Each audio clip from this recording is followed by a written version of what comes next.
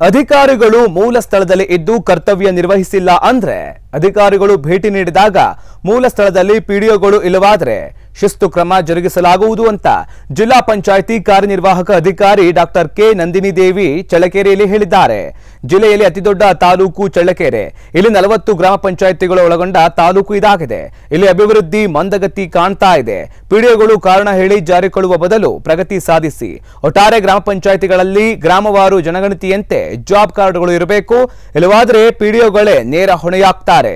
ಫಲಾನುಭವಿಗಳಿಗೆ ಮನವೊಲಿಸಿ, ಗುಳೆ ಹೋಗೋದನ್ನ ತಪ್ಪಿಸಿ, ಉದ್ಯೋಗ ನೀಡಿ ಜೊತೆಗೆ ಶೌಚಾಲಯಗಳನ್ನು ಕಟ್ಟಿ ಬಳಕೆ ಮಾಡುವ ಬಗ್ಗೆ ಅರಿವು ಮೂಡಿಸಿ ಅದರೊಂದಿಗೆ ಜಿಯೋ ಟ್ಯಾಗ್ ಮಾಡಿ ತಂತ್ರಜ್ಞಾನಕ್ಕೆ ಅಳವಡಿಸಿ ಎಂದರು.